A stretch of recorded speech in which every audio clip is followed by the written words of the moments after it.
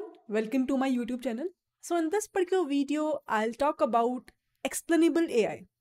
Um, I hope that you have heard this term a lot many times. But today in this video, I want to talk about that why actually explainable AI is something which is quite important, specifically in the severe scenarios. What, what do we mean by that? Let's try to understand uh, uh, step by step. So I remember, you know, uh, I was doing in my master's from IIT the project with respect to the healthcare domain in my thesis. So what usually happened is that in the complete second year of masters, you will be provided a thesis work and you have to do some research project. So that's what uh, I was doing with respect to healthcare domain in my masters. That's where I realized the importance of this explainable AI. Before that, if you will ask me, I was not even, you know, uh, have that respect or I would say have that uh, thing in my head that, okay, this is something which is quite important with respect to machine learning models or deep learning models.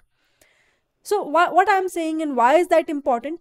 Let me try to give you a brief overview and the thought behind that, what actually I have learned. So when I'm saying explainable AI, right, what does that mean? For example, you are solving some problem. You are solving some business use case. You are solving some healthcare domain problem. Let's take an example that you are trying to solve a problem with respect to healthcare because that is something which I consider as a very critical problem that you are solving. And if your model result will go wrong, it can impact the health of the patients, which no one wants, right? So let's take that situation critically. For example, you have been given a problem of detecting the cancerous cells in the CT scans. So you have been provided a CT scan and the problem statement says that train a model, train a model, maybe you are somewhere using a machine learning model. Now this ML model that you are using or it may be deep learning model doesn't matter but you are training some machine learning model or any uh, model any architecture whose basic responsibility is to give you the predictions that whether a patient is having a cancerous cells yes or no. So it's a kind of a you can say classification task. And what i'm giving to the model as an input is the i would say CT scans, CT scans of the patients. So this you can consider as the valid input that we are passing to our machine learning model. Now suppose uh, for few of the cases uh, you will be able to get a correct prediction also that okay whether the patient contains a cancerous cells or there will be no I would say, cancerous cells. You are getting a prediction accordingly. But my major concern is that it's not about a classification task. It's not about that whether my model is giving me a correct prediction of whether a patient is having a cancerous cells or not. It's about that when I'm training the model with respect to the given CT scans, what I want to really see is that what is the deciding factor for my ML model? what is the decision making part. What is the decision making factor inside my machine learning model? That is what i want to check. And that is where the purpose of complete i would say explainability ai came into picture. Explainability ai came into picture. Why? Because i want my model to give the interpretation, interpretability. I want my model to give the interpretation that, okay, it is giving me a decision of whether a patient contains a cancerous cells or not inside the CT scans. How? What's the deciding factor? And that deciding factor is really important because what I will do is that I will maybe make sure with respect to the doctors that this is what my model is able to define a pattern. Is that fine? Is that justifiable to detect that whether a patient is having a cancerous cells or not?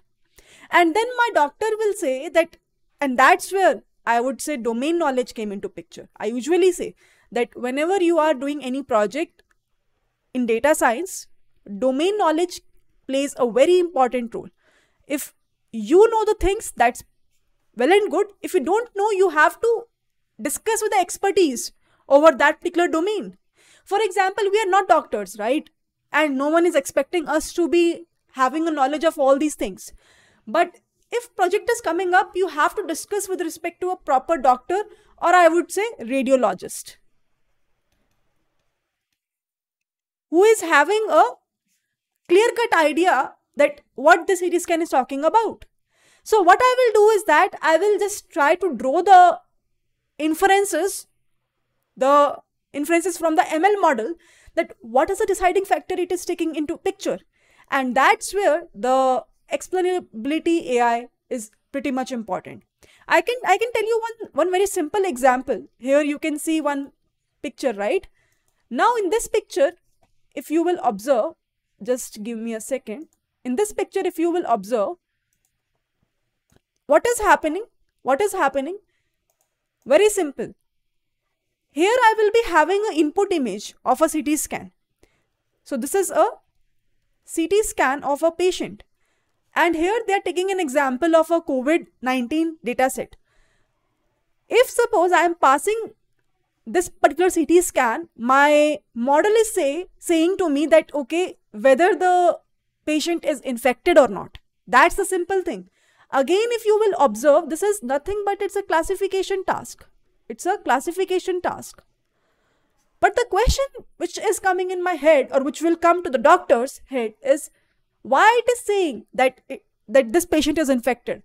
Can I trust you or not? Now, what will happen is we will try to move ahead with the explainable AI. So this is something where I am saying that was the black box AI where I don't know that okay my model is giving me the prediction of yes or no but how? And in what in, in what respect? What's the decision making part? But when i'm moving towards explainable ai can you see these highlights? Can you see these highlights? So it is giving me justification that this is something which we usually called as ground glass and consolidation in the CT scans. Even the project is uh, where the research paper also we have written is all about this only. I'll show you that as well. So there, this, this is something where I can say that that's why my model is saying that the user is infectious. Now I will be able to get a justification, justification of the decision that my model is predicting. And that is something which is quite reliable to me right? Now I can see this is transparent. With the help of explainable AI, results becomes transparent that why my model is saying that yes, this person, person is infectious. I see how you make predictions. I understand why. And now I can trust you because I understand. Makes sense? That's where the importance of explainable AI came into picture because transparency is there with respect to every result which model which the model is saying to me i'll i'll give you one more demonstration of my uh, no you know research paper here if you will see this is the research paper automated quantification of inflamed lung regions written by mm, uh, me as as well as with the team with with my team in IIT Hyderabad and we have published this paper in EMBC conference here you can see the similar project uh, also I have uh, worked around that. So here you can see that basically if you will observe, this is the CT scan which is given to me, which was the input. Now, the important task is again to detect the infectious portion inside the lung so that I will be able to get an idea that whether the person is having a COVID-19 or not or is infectious or not or is having a pneumonia or not. Any of the problem statement you can think of. This is something where you can see, right, this yellow, yellow portion, yellow, yellow portion, yellow, yellow portion.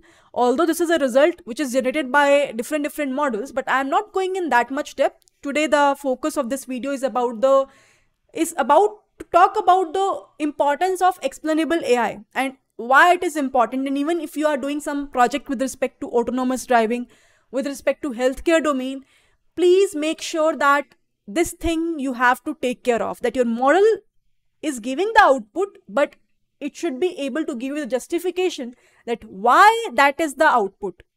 If you think that decision making part is fine the justification is fine then only you can go for that model to make up predictions for remaining test data that you have.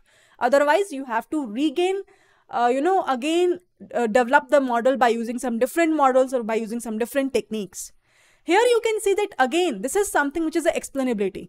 If my model is saying that the person is having infection in their lung, why is that so? Because my model is able to give me the justification of this yellow region.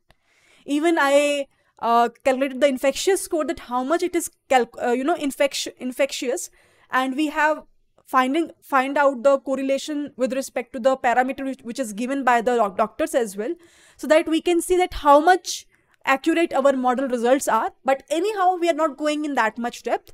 Here, this is something which I am talking about the explainability part. And that's where again the importance of explainable AI came into picture.